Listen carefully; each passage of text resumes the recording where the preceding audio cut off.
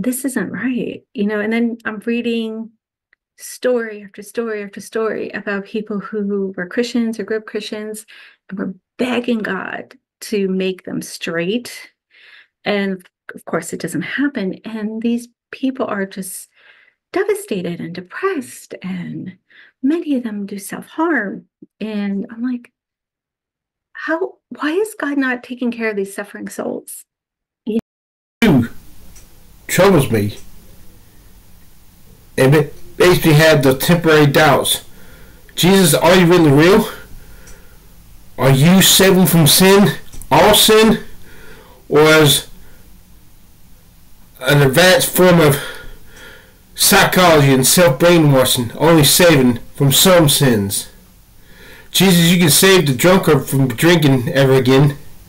You can save the drug addict from drugs. You can even save the womanizer from womanizing. Why the hell can't you save the homosexual from his homosexual desires? If you're really doing the saving. What the hell are they supposed to do? Because let me tell you something. A life without sexual climax is a life in hell. A straight man at least has the option. Paul, the apostle writes, if they cannot contain themselves, let them marry. For it is better, for it is, better to marry than to burn in lust. What the hell route does the homosexual have to take? Oh, uh, that's your cross to bear. Well, fuck you too, God. I tell you what I'd do if I was a homosexual, and I'm not. And God didn't take away my fucking homosexual desires. I'll tell you what I'd fucking do. Back in the Old Testament, God allowed people to divorce. Jesus says this was not. Jesus said Moses gave you a right of divorcement because of the hardness of your hearts. But this was what this was not God's plan. I tell you what I'd fucking do. If God didn't come through for me.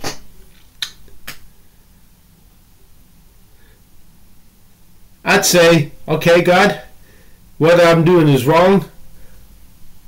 What am I supposed to do when I, I cannot get rid of these sexual desires? Because let me tell you something, when you're young, all you think about is sex. If you're uh, straight, you can get married and fuck to your heart's content. As well, as long as your wife says so.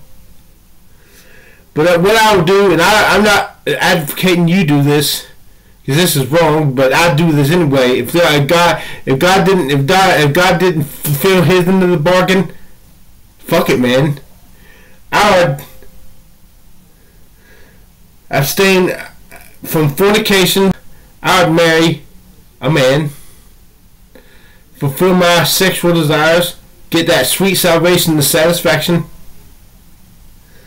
and say, "Hey, God, I'm doing this because of the hardness of my heart." You allowed your one rule to be broken about divorce. Why can't you let me break this one rule of yours, God? Once God starts letting people break one of His laws, then everything's up in the fucking air. I thought God was not one jot one tittle should be violated. Fuck it, man. I'm ang- I'm just angry. I, I have, to, I have confessed I'm angry at God because I can't get my hair transplant because I'm not a good looking guy. Because, because I can't exercise and get these pecs without getting man boobs and without I can't exercise these pecs and get develop my pecs because my back muscles are hurting like hell, making me unable to walk. And God, fuck you if I can't live a happy life. Fuck you.